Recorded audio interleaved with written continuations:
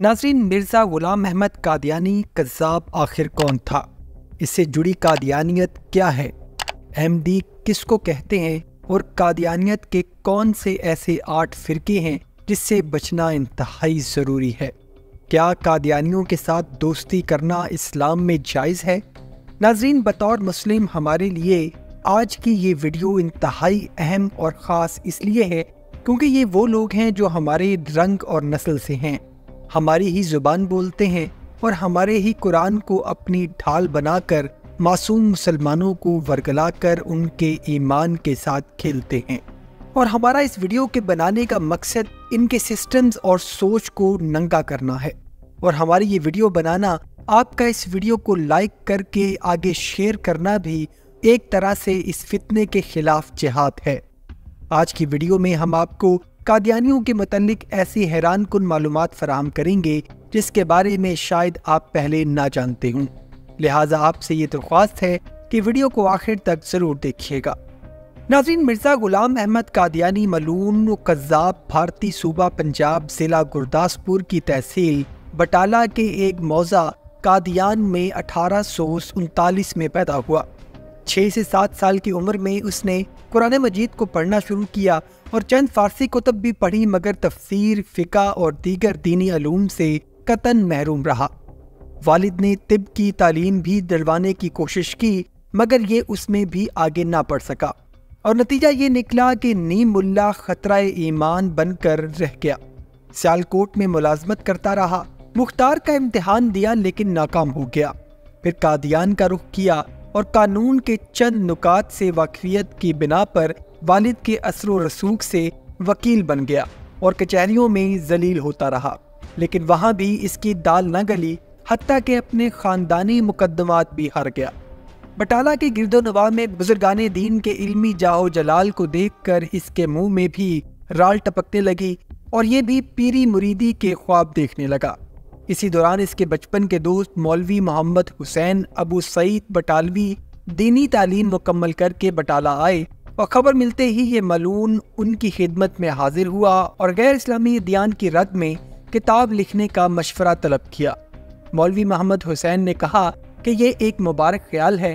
किताब की अशात के लिए सरमाए का मसला दरपेश था, मगर मौलवी साहब ने लाहौर आने का मशवरा देकर ये मुश्किल भी हल कर दी।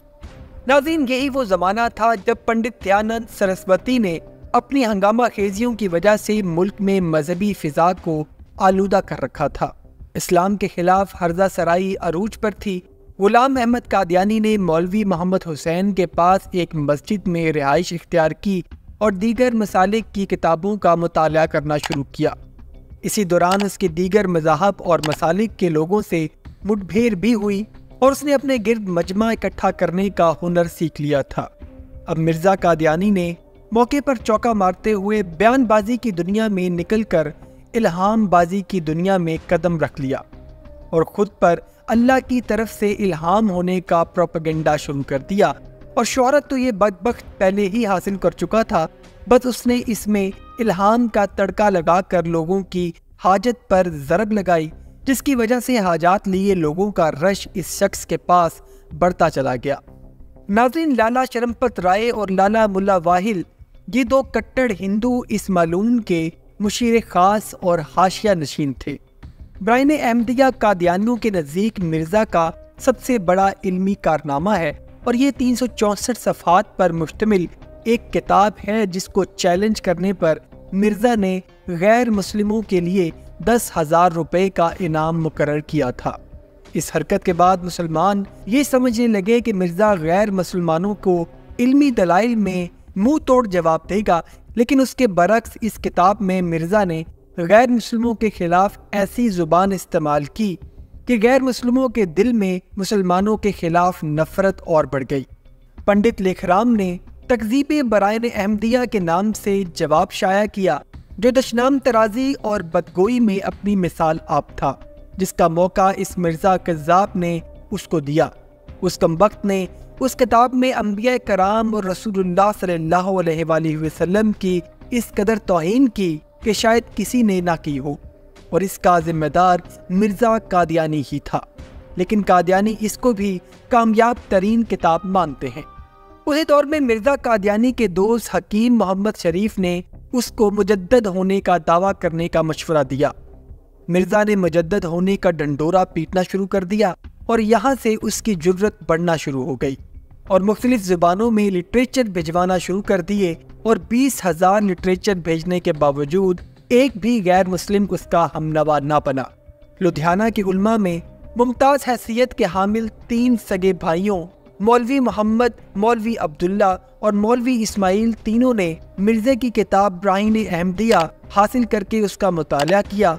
उसका मुताला करने के बाद उन्होंने ऐलान कर दिया कि ये शख्स मुजद्दिद नहीं, बल्कि मुलहिदो मलून है। उसके कुछ ही दिन के बाद उलमा हरमैन शरीफैन की तरफ़ से भी मिर्ज़ा गुलाम अहमद कादियानी पर कुफर का फतवा लगा दिया गया। इन फतवों के बाद जब उसकी मुश्किल में इजाफा हो गया तो उसने मसीह होने के दावे की मनसूबाबंदी शुरू कर दी। सबसे पहले उसने हज़रत ईसा की हयात और आपके नजूल सानी से इनकार किया हालाँकि ये बदबख्त अपनी ही किताब के सफ़ा चार सौ अठानवे में उनकी हयात और नजूल सानी का इकरार कर चुका था और आखिरकार इसने मसीह होने का दावा भी कर दिया और दावा ये किया कि मसीह यानी हज़रत ईसा जिनका उम्मत इंतज़ार कर रही है, वो मैं हूँ और हज़रत ईसा का इंतकाल हो चुका है।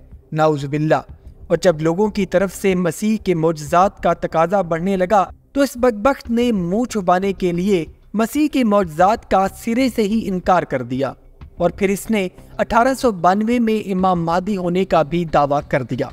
और फिर हज़रत पीर मेहर अली शाह गोलड़वी मैदान में आए और उन्होंने मिर्जे के चौदह तबक रोशन कर दिए।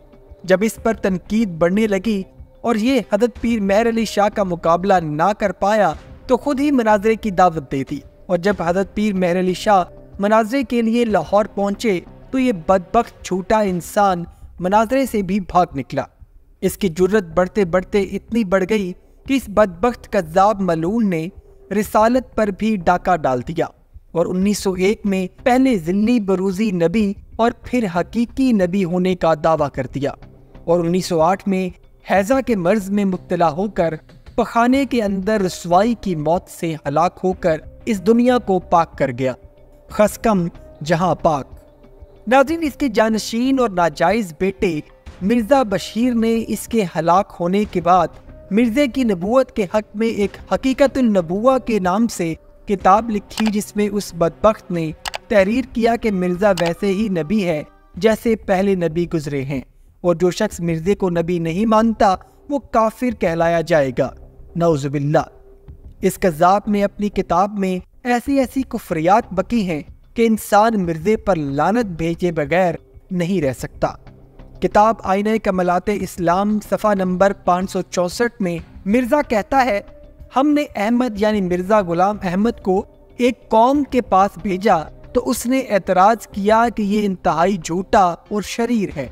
मैं रसूल के साथ कायम हूँ और मामलात करने वाले को मामलात करता देखता हूँ, और मैंने नींद में खुद को हु बहू अल्लाह देखा। और मुझे यकीन हो गया कि मैं वही अल्लाह हूँ। नाउजबिल्ला नाजरीन, आज कादियानियों के आठ फिरके बन चुके हैं और ये लोग इस्लाम का भेज बदल कर पूरी दुनिया में इस्लाम को बदनाम करने और अपने कुफर को फैलाने में लगे हैं। और इनका मौजूदा रूहानी पेशवा मिर्ज़ा मसरूर है, जो लंदन में मुकीम है, जिसको पाकिस्तान से जूते मार मार कर निकाला गया। और ये शख्स इतना जाहिल है कि कुरान पाक की एक सूरत भी ठीक से नहीं पढ़ सकता। नाजीन ये एक ऐसा कल्ट है जिसको अंग्रेज़ ने परवान चढ़ाया और मुसलमानों में फूट डलवाने के लिए इस बदबख्त को इस्तेमाल किया।